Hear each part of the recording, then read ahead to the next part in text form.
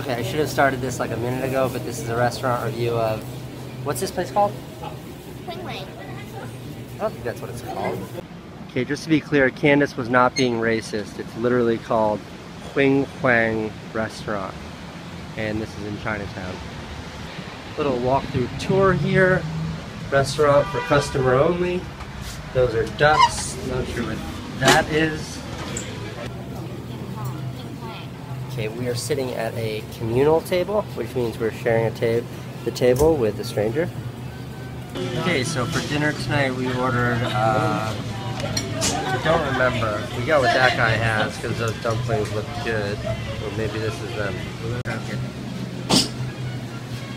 Like the BP oil spill.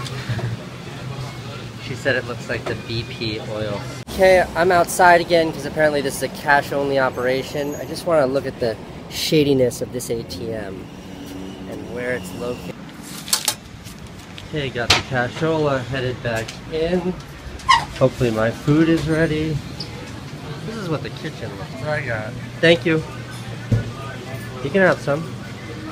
Roast chicken, pork, dumplings, dumplings, soup. This man is our chef du jour.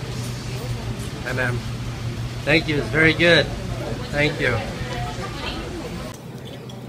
Okay, now the review from 1 to 10.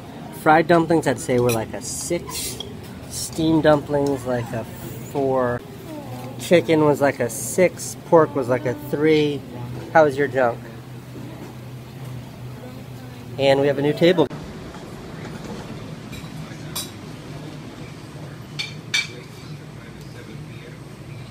Thank you. Have a great night.